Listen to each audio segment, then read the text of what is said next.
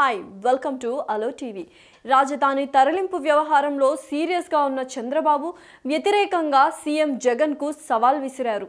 అంతేకాకుండా నలభై ఎనిమిది గంటల సమయం కూడా ఇచ్చారు. రెండు రోజుల్లో అధికార పార్టీ తమ నిర్ణయం మార్చుకోకపోతే తమ పార్టీలో అధికారంలో ఉన్న వారంతా రాజీనామా చేస్తామని బెదిరించారు.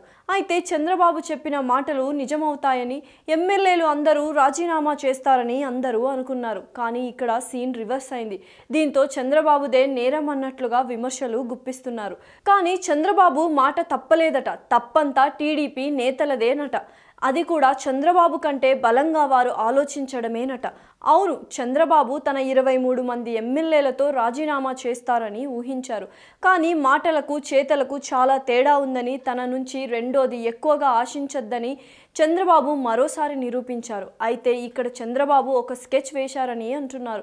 కానీ ఆటలు టీడీపీ నేతలే సాగనివ్వలేదని రాజకీయ వర్గాల్లో చర్చ నడుస్తోంది. ముందుగా ఇరవై మూడు మంది ఎమ్మెల్యేలు రాజీనామాలు చేసిన అనంతరం ఎంపీలు తర్వాత ఎమ్మెల్సీలు కూడా రాజీనామాలు చేయిద్దామని చంద్రబాబుకు సూచనలు అందాయట.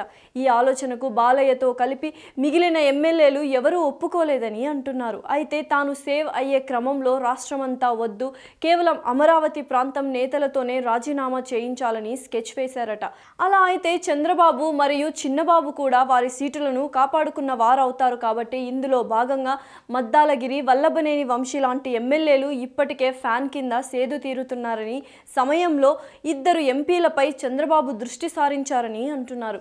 వారిలో ఒకరు కేసినేని నాని కాగా మరొకరు గల్లా జయదేవ్. వీరిలో ఒకరికి స్ట్రాంగ్గా స్పందించిన నో అంటే మరొకరు కాస్త సాఫ్ట్గా స్పందించి నో అన్నారంట. ఇక మిగిలిన ఆంధ్ర ప్రాంతంలోని నేతలు కూడా అమరావతి కోసమని ఆలోచిస్తే నియోజకవర్గంలో ప్రజలు బయట తిరగనివ్వరని భయపడుతున్నారట. ఇక సీమ విషయానికి వస్తే అక్కడ గెలిచేది చంద్రబాబు బాలకృష్ణ మాత్రమే. ఇక ఉత్తరాంధ్ర విషయానికి వస్తే విశాఖకు వస్తున్న రాజధాని ఆ పాలన అనడమే తాము చేసే అతిపెద్ద నేరం. ఇక ఏకంగా విశాఖకు రాజధాని హోదా వద్దని రాజీనామా కూడా చేస్తే భవిష్యత్తు ప్రశ్నార్థకంగా మారుతుందని చంద్రబాబుకు డైరెక్ట్గా చెప్పారంట. దీంతో అధికారంలో ఉన్నప్పుడు కింగ్లా పార్టీ నేతలను శాసించిన చంద్రబాబు పరిస్థితి ఇప్పుడు చాలా దారుణంగా తయారైందని పార్టీ నేతలు చెప్పిన మాటలు చంద్రబాబు వినాల్సిన పరిస్థితి ఏర్పడిందని రాజకీయ విశ్లేషకులు అంటున్నారు. పార్టీలో నేతలు ఐక్యమత్యంగా లేకపోతే ఆ పార్టీ నేత పరిస్థితి ఎలా ఉంటుందో చంద్రబాబును చూస్తే అర్థమవుతోంది. మరి ఇకనైనా చంద్రబాబు తన పంతాన్ను మార్చుకొని పార్టీ నేతలు కలిసిపోతారో లేదో చూడాలి.